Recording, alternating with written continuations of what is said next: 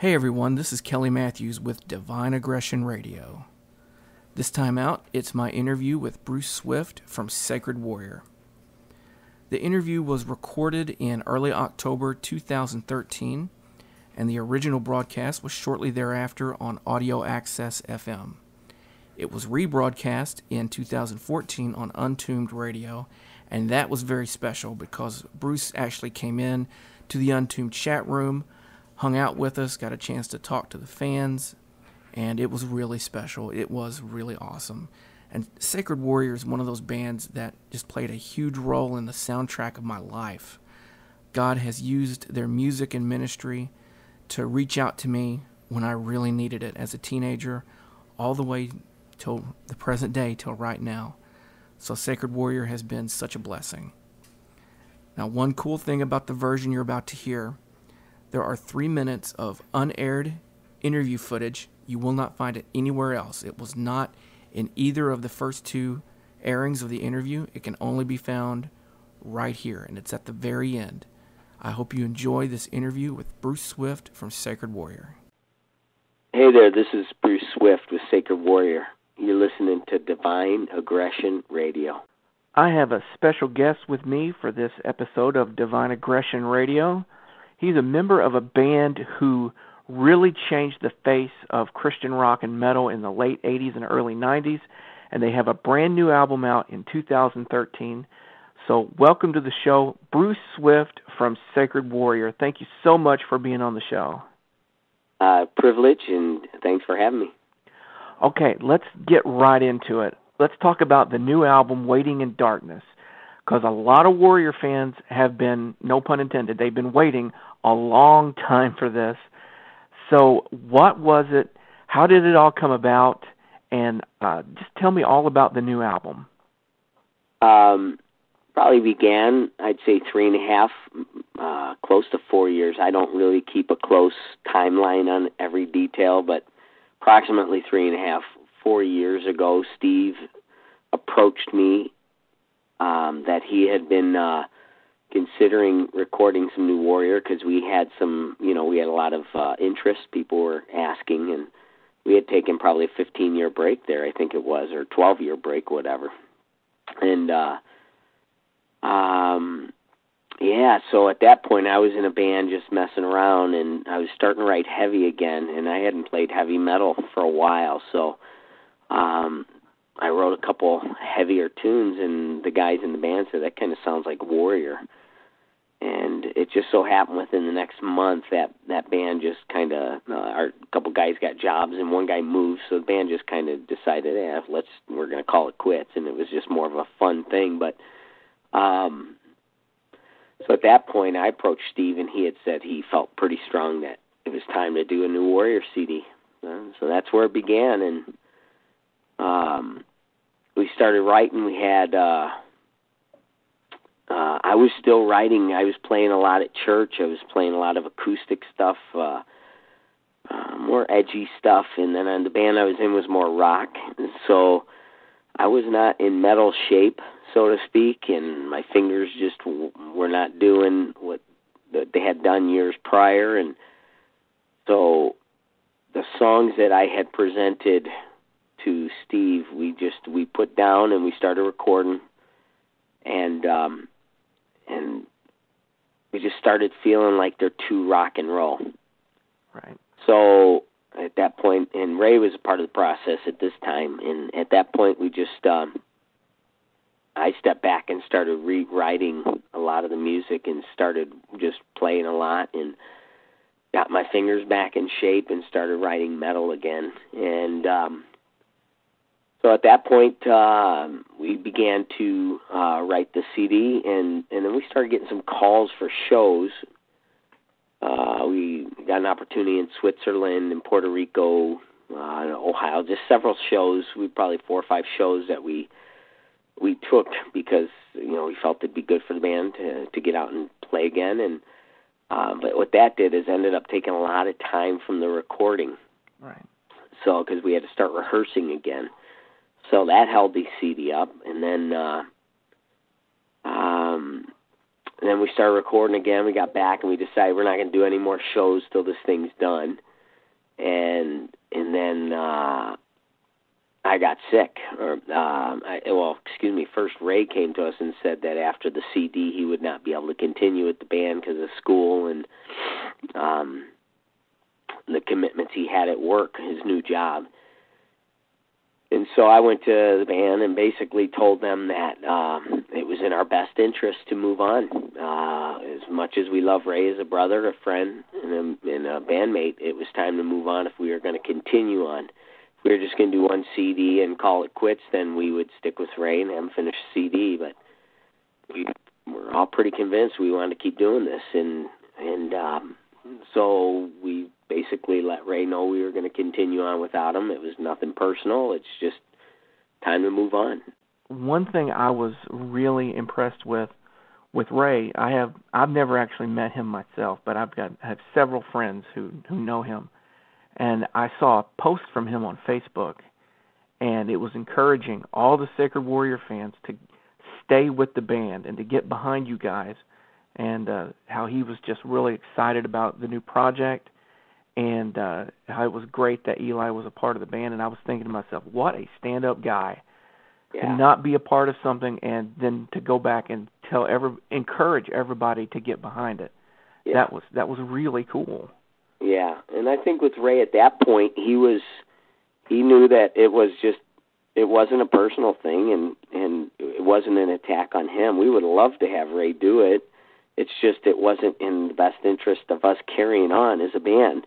And he understood that. And he and and so and then after the band broke up i'm sorry after you know we moved on and he he uh you know decided to do that it was probably six seven months a year later probably a year later he george approached him from recon to do a song or two for rick macias that they had talked about for years. And then wow. It evolved into let's do an album man and and you know what i I don't care who you are. Ray's people are like, hey man, I don't get it. Ray, you know, he can't do a CD with Warrior, but he can do one with Recon. That wasn't the plan. That was that happened. And I, I'll be honest, man. When you're a musician and you love to do what you do, it's kind of hard to give it up, you know. And he probably had full intentions, and and it ended up working out where him and George, I think, does most of the writing. So Ray just had to sing it and uh, I don't think they're going to be a real busy band. I don't know, but I I think Ray just probably started singing with them, and it was a good vibe, and they thought, let's do a CD. Nothing personal, nothing. Nobody's taking it personal. We feel like God has redirected everybody. We love Ray. Ray's awesome, and there's nothing personal there, and everybody speculates, but it's not. It's just that's how it worked out. Um, the bottom line is the direction we're moving to is not it's a different style of vocals it's eli sings you know a harder core metal and ray is awesome let's face it but the other side of it is ray does you know has not had a lot of time to continue singing and and and stay in shape as far as this kind of vocal approach. And so for him i think it was a challenge as well. Even live when we played out, it was it was a struggle, and I'm sure he felt like, man, if I'm going to do it at a higher level, uh, I it's hard to do with my job and going to school. So I've I've already I don't know if you've heard any of the tracks from Worldview that he's the project he's doing, but it's a no, good fit personally. It's a really good fit because he, they're it's not like a demanding like he's got to be taking it to that that notch he was at 20 years ago. Right. It's a better fit for him. It's it's way less demanding, and I think he's very it fits him perfect. And it sounds great to me. It's just uh, we were going a whole different direction, and um, so that is kind of kind of how that went about. So hats off to him. God bless him. We want nothing but the best. And actually, I can't wait to hear his CD. At that point, when Ray had um, uh, you know, we decided to move on, you know, and and uh, audition another vocalist. Uh, we probably had five guys that uh, sent auditions, and and uh, hands down, we decided on Eli.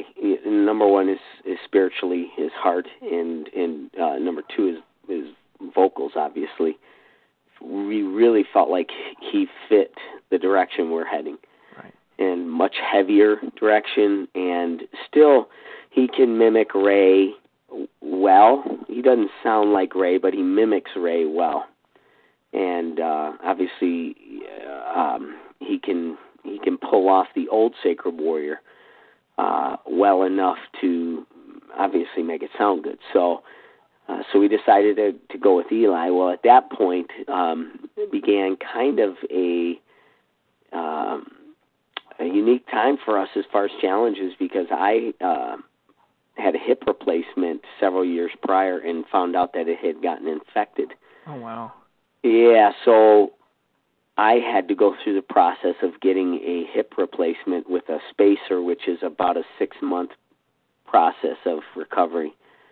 So in in that process, I had to step back from obviously recording uh, for six months, and uh, and yet provided a, an incredible opportunity for me to continue writing because we are still needed material, lyrics, and in that six months when probably seventy percent of the CD was finished um, in my recovery, um, and then during that recovery. Joe Pettit, the keyboard player, found out he needed a tra- heart transplant. Oh my goodness. Yeah, when we got back from uh Switzerland, he found out his heart was failing, and um so he got a heart transplant. I got a new hip, and then during that process, Tony Velasquez found out his heart was failing. Are you kidding? No, and he found out he had a uh, clogged, you know, uh, valve. So he had to have a stent put in or stent, whatever they call them. Mhm. He had to have that put in and he's doing great now. So all in the same year, the three of us were physically challenged at, at in incredibly challenged. So um so obviously that held the CD up and a lot of people are like the CD's never going to get done and at that point we were pretty um pretty discouraged as far as like wow what is the what's the deal here and I remember talking to Tony on the telephone um, when I was sitting on my couch recovering, and Tony was in the hospital, not doing very well. He was at his heart was running at ten percent.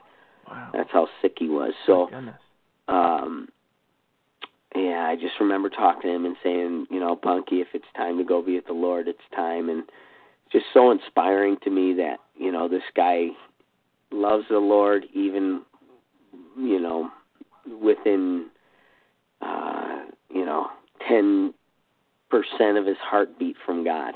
Right.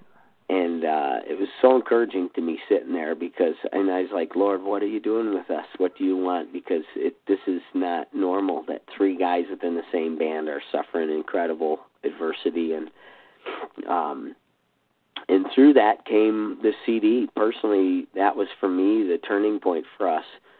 Eli really was an awesome uh just uh he was just he brought a lot of stability to the band, you know, just Right. his confidence and his encouragement just during those trials. And here's a guy who gets into the band and I remember all of us told him, dude, watch your back, man, cuz right now the Lord's definitely challenging us and testing us with our physical, you know, physical, uh, you know, uh, adversity. And and he the whole time just was you know had a good uh sense of humor about it but also prayer. And and yeah so through them that incred- incredible uh time there we I mean the lyrics from the CD really were shaped and I think of desperately uh I'm sorry I'm thinking of in dust and ashes right now. I wrote that uh lyrically uh one night I woke up and I just started walking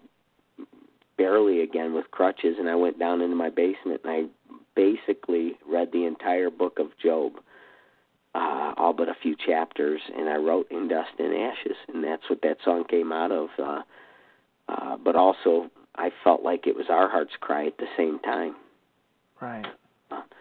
so that and then uh just uh obviously uh uh jealous love and I wrote desperately wicked in that time and it just everything came out of that season and God allowed it and and it was just an incredible time and I tell people now that you know, for six months I was incredibly challenged, but I found it to be the most one of the most satisfying times of my life because I literally could only sit for months, six months, and so when you sit a lot, you I mean you have nothing else you can really do. You actually rest. And I would read and I would play my guitar. That's all I could really do. One thing you guys did, which I thought was an absolutely brilliant move, on the new album, you took one of your uh, Sacred Warrior classics, if you will, and you re-recorded it. And to me, it tied the new album in with uh, what the band did back in the late '80s, early '90s. What made you choose uh, the Temples on Fire for the re-record? Actually, we did two. We did Day of the Lord and Temples on Fire. Oh, okay. Day of the Lord is off of Rebellion. Okay. So that one was the other one. Eli really liked Day of the Lord. That's one of his favorite songs, and so we, you know, wanted to, you know, give him, you know, we asked him what song he would like to do, and he chose that one for this CD. And then Temples on Fire is just, uh, it's always been one of our favorites as far as live. It's just got a lot of energy, and Anthem. it just really is our heart's cry that man yeah. the temple, our bodies, obviously, this temple, the bodies we live in, uh, are on fire for God, man, and that's our heart's cry, man, through metal.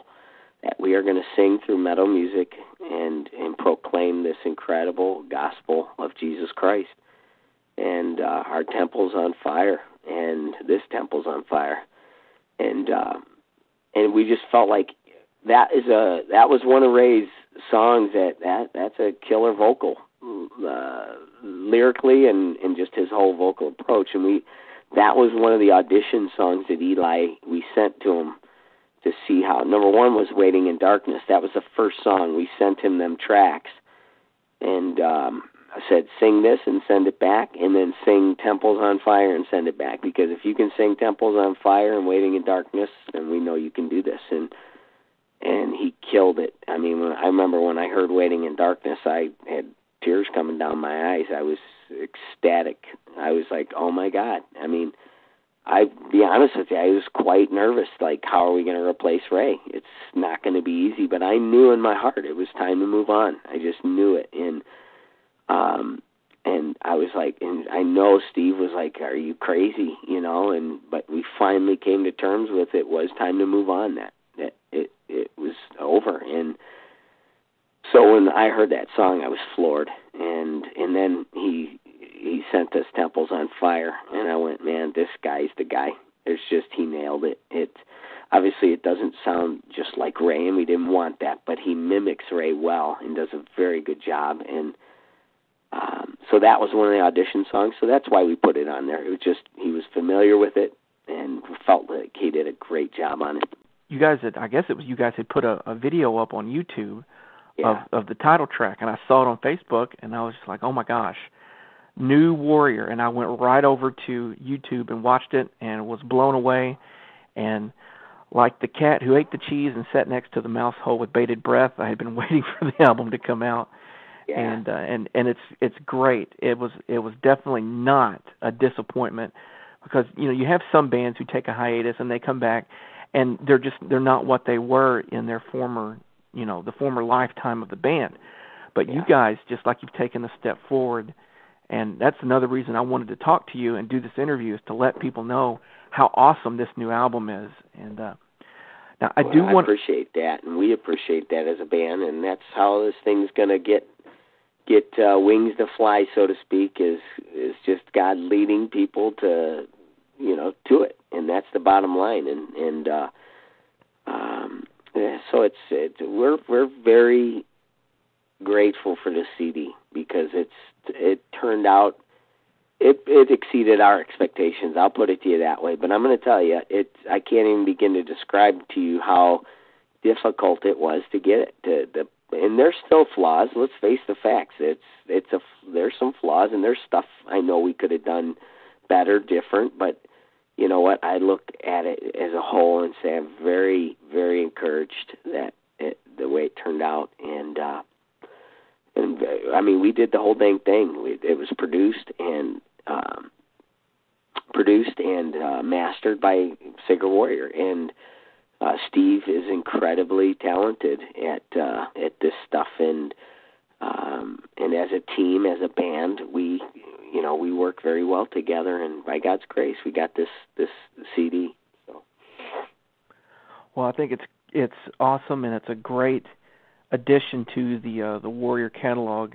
And speaking as a fan, um, I know uh, Obsessions, the recording uh, quality wasn't up to what you guys really wanted, but musically, I have to tell you, when I was uh let's see how old was I? I was a teenager when that album came out. I lived and breathed musically Obsessions yeah. for like months. Um when I would come home and I'd sit down, the first thing I would stick in my tape player, not CD but tape player, would be Obsessions from Sacred Warrior. And I just it really had a huge influence uh on my life. So one of the cool things about being a, a DJ and doing shows like this is I do get to talk to some of the people that really influenced me in my life. So I do want to take this opportunity to say thank you for being a willing vessel of the Lord because you did minister to my life, you know, in a time when I actually really needed it. So from me to you, not DJ to musician, but from brother in Christ to brother in Christ, thank you.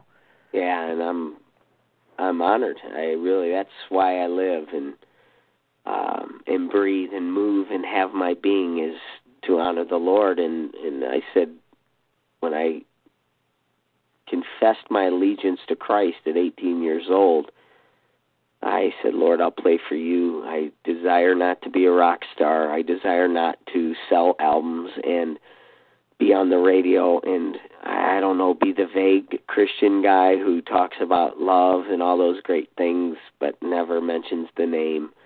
Just didn't have a a, a desire for that. Now some guys do that, and that's their deal. Not, I just can't. Uh, I am driven to proclaim the gospel, driven to proclaim His message I feel like uh, I think of um, the scripture that says, "How beautiful are the feet on the feet on the mountains who proclaim the good news," and it um, that's that's my my honor and my job for the Lord. So it's a privilege, and and you know what? I'm just grateful that we're able to do it again. And I think uh, uh, "Waiting in Darkness" is lyrically our best work. Um, musically our best work. Uh, although I love Obsessions as well, I'm just disappointed with the sonics of it. Right. Um, and that was uh, quite a bit out of our that was out of our control. We would have not allowed that or had that if we would have had more say. And right. uh, uh, the record company pretty much insisted it it go to you know print uh, before we could really correct mm-hmm. some things. But right. um, with that being said, it is what it is, and and uh, that's why I look forward to hopefully doing several more uh, CDs with Warrior. Um, yeah, we're already in beginning stages of the next CD uh, writing, and uh, just did some rough uh, tracking for a new song, and uh, so we're we're uh, geared up for the next one, and so uh, excited. All right, let me ask you a question about. Um, back when Sacred Warrior first started, Christian metal, uh, hard rock and metal was really a new genre in yeah. the in the mid '80s.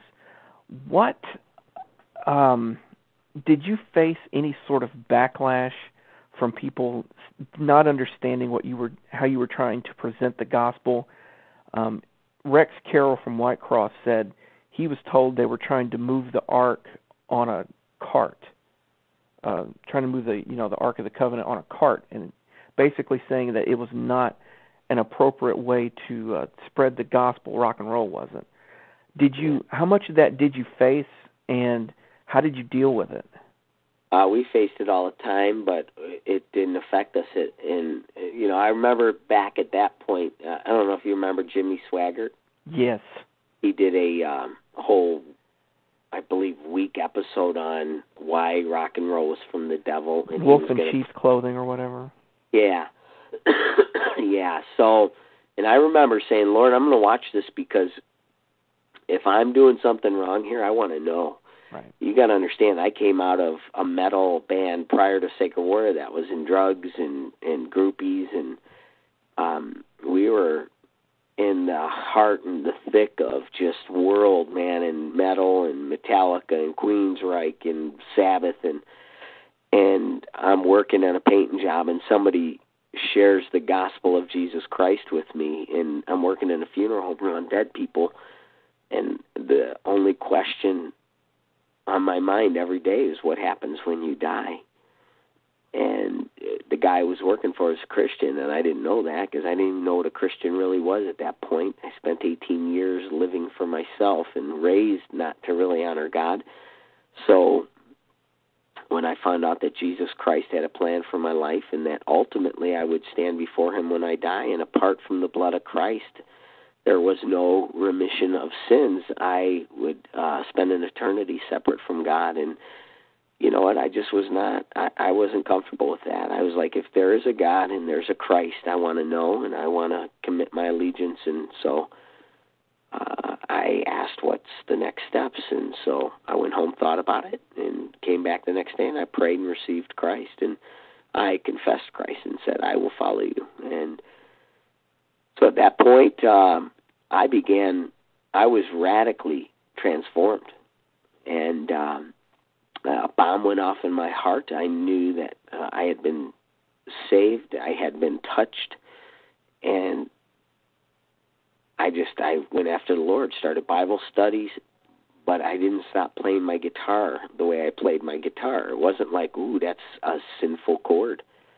ooh, that approach is sinful. That's too loud on the amp. That's sinful you know that's nonsense. That's legalism man. That is the i i read in the psalms all the time that says crash the cymbals make a loud noise unto the lord. And i find it fascinating that some people have determined that the loud noise is their version of the loud noise. So i really don't take it too personal. I we were picketed. We used to do concerts all over you know, the United States, and we were picketed. People hold signs up saying our, our music's from the devil, and yet we'd go into clubs and people would come to know the Lord, and and we just basically kind of avoided and ignored it, and and guess where we're at today?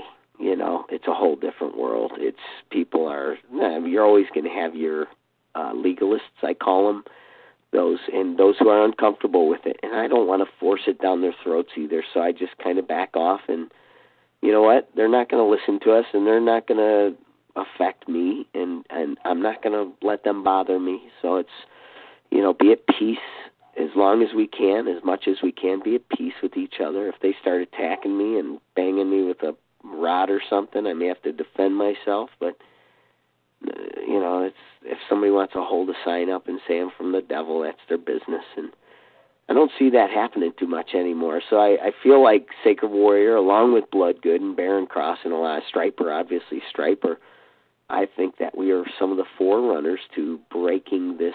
Uh, I don't know what the word is for you know, this uh, stereotype of metal music.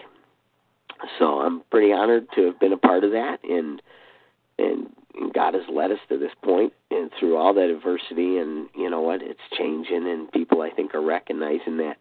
Hey, these metal guys really do love the Lord, and for me, I've been serving the Lord for 27 years now, and I don't think a person in the universe is going to go, "You don't love the Lord because you play metal music." I think people are like, "Wow, this guy plays metal and he seriously loves God." So, you know what, is what it is, and it doesn't really affect me too much.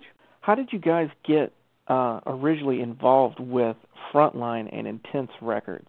Because uh, it was it was a it's a totally different world now as compared to back then, for as far as record labels and uh, you know self promotion and whatnot.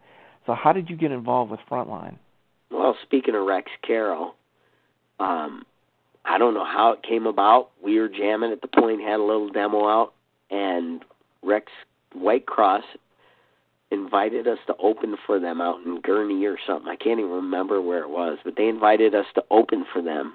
So we went out and did like um I think six songs we had down at that point. And um and Caesar Kalinowski was there, the guy who owned Intense Records, or he started his own label. And he saw us, and he, after the show, told us he wanted to sign us. Oh wow! And we're like, what? And he's like, yeah, I'm starting a record company. I want to sign you guys. So we met with him, and like a bunch of knuckleheads, signed a five-year deal with him, five records, and because we were so ecstatic, you know, we were like, ah, oh, we made it. We're going to do a record. And so we signed a five-year instead of being smart about it and getting a lawyer and saying, no, let's do a one-year, two-year, and see how it goes. Right and a five year and and he recorded us and that was rebellion. He he uh recorded us in Gurnee and uh that was our first cd and it's actually a really cool time for us. A very i always say rebellion's my favorite cd because it was a very exciting time. Uh i felt like the music was just so uh, just us. I just right. at that point that's just man we just had our sound we had our uh, vibe, and just it was awesome. And and so we, uh, you know, we recorded that, and then Caesar came to us and told us that another record company wanted to buy, or you know, buy the rights to Vengeance and Us, which was the guy's frontline in California. Oh yeah. So he sold the he sold us and Vengeance to them with the I guess the uh, agreement that he would work for the company and record or produce our second CD. And once he, uh, all the deal was signed, they basically fired him. Oh my! And so we were en route to California to do our CD, and they fired Caesar. And he called us and said, "Dude, they fired me. Don't do the CD." And we're in the studio the first day, oh, waiting man. for him. Like, where's Caesar?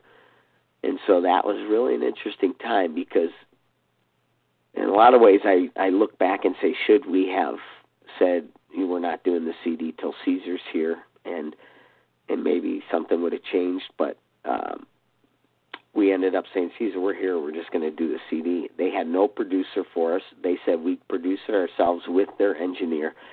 Honestly, that CD sounds like an unproduced. It just like we weren't producers at that point. we were. Uh, we were uh, little puppies, man. And the engineer who was engineering the CD said he had never even he doesn't even like heavy metal and oh never did a heavy metal CD. So at that point we knew like, oh my God, and you can hear it with all the tones and just the way everything's even structure, everything. Caesar was obviously from Rebellion to that. I mean, it's not a horrible CD, don't get me wrong, but Caesar definitely was a pretty good producer and mm-hmm. And I always so thought we, the uh, I always thought the kick drum on Master's Command sounded really weird. yeah, very, very well, triggered. Yeah, it was. It was. That's what the guy used because he didn't know how to get really good metal kicks. So everything was. It was just, it, it, dude. God has He has just led us through some incredibly interesting times, and and He's He knows the plans He has for us. The Bible's very clear that God knows what He's doing, and I don't look and go, God, why didn't we? I mean, we sat. I sat in Capitol Records office and they wanted to buy us from Frontline Records. They wanted to take ours and Vengeance again, our contracts from them, and uh, Frontline wouldn't do it.